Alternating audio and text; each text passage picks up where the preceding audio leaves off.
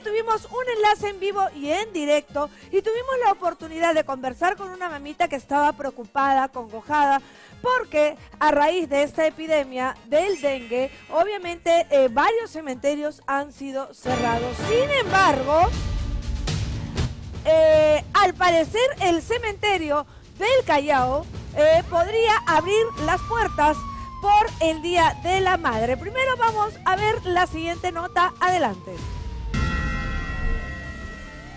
El día de ayer, aquí en Préndete, tuvimos una denuncia en la cual la señora Elizabeth nos contó que cerraron el cementerio Baquíjano y Carrillo del Callao, perjudicando su trabajo como vendedora de flores.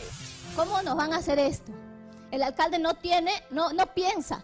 Mire, primero, cuando trabajamos en el mercado de flores, en tiempo de pandemia nos cerraron, nos cerraron el mercado de flores. Luego nos pusimos donde pudimos para poder seguir trabajando. Y es por eso que nosotros fuimos en busca de los administradores del cementerio, para poder escucharlos. Una consulta, la visita está eh, inhabilitada completamente. ¿Ya este fin de semana van a abrir?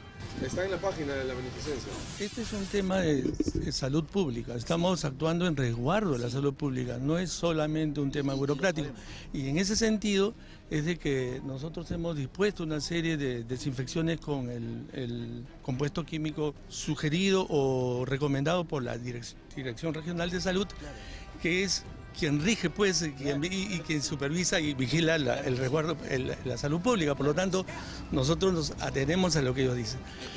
De tal forma que el día eh, viernes vamos a hacer el- el- el ult- la última desinfección con este compuesto para el día sábado abrir las puertas del cementerio. Es. por ello que lo cerramos para poder hacer los trabajos de eliminación de agua, eh, embosamientos de agua y todo lo que genere este, la, la, eh, la reproducción del zancudo, ¿no? O- o- Quisimos ver con nuestros propios ojos qué medidas estaban tomando. Y esto fue lo que encontramos.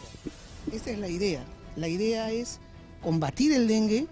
Estos recipientes los estamos llenando de arena, porque en el momento del regado, ¿no? Este se llena de agua, se empoza.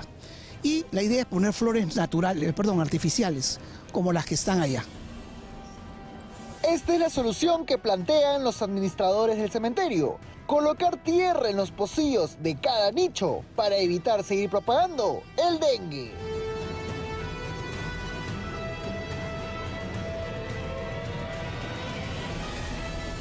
Tenemos dos puntos de vista.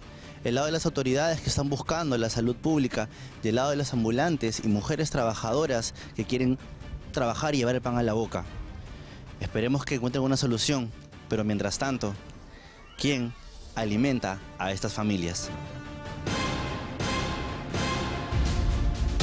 Definitivamente es una situación muy complicada la que estamos pasando en estos momentos porque como lo dice bien nuestro reportero Osvaldo, por un lado está eh, de por medio la salud pública, lo que vaya a suceder con las personas por esta epidemia, y por otro lado también es comprensible la situación que muchas familias están pasando eh, debido a la necesidad económica y que muchos trabajos se están obviamente truncando por la situación que vivimos ya hasta el día de hoy. Son 20 regiones declaradas en emergencia por la epidemia del dengue, pero el día de hoy yo tengo un